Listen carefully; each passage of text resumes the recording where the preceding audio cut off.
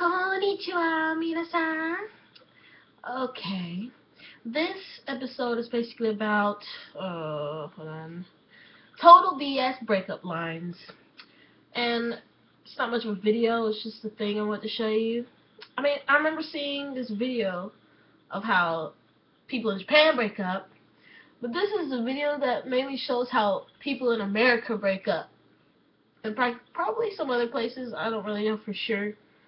But this is basically all I know. So, there's a picture of what it is, and I hope you enjoys it. Here it is.